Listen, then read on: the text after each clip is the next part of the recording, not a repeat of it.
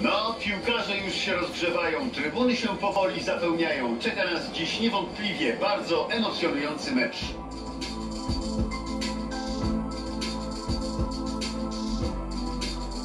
Dzień dobry Państwu, rozpoczynamy transmisję. Tutaj na stadionie trwają już ostatnie przygotowania, a kibice zajmują swoje miejsca. To spotkanie skomentuje dla Państwa duet Dariusz Szpakowski i Jacek Laskowski.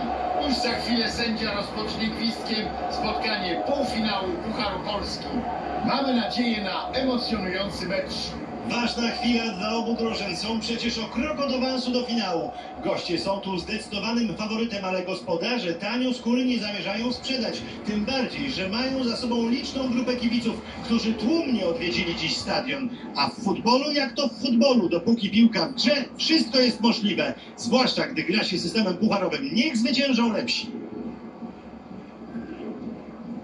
Gospodarze zagrają w takim oto składzie. Zespół wychodzi na murawę w ustawieniu 3-5-2. Twoja opinia na ten temat, Jacku? To oznacza dużą wymienność pozycji w drugiej linii i możliwość wsparcia zarówno obrony, jak i ataku większą liczbą zawodników, ale trójka obrońców musi się zawsze mieć na baczności.